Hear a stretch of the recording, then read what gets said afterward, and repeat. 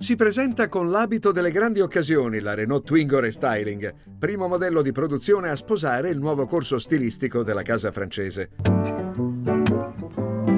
Il restyling di metà carriera della Twingo si caratterizza per la grande losanga al centro della calandra, incorniciata da un largo baffo orizzontale e messa in evidenza da due fari circolari dall'aspetto inedito. Con la Twingo Restyling, la Regie introduce un nuovo family feeling che nel 2012 ritroveremo sulla prossima generazione della Renault Clio.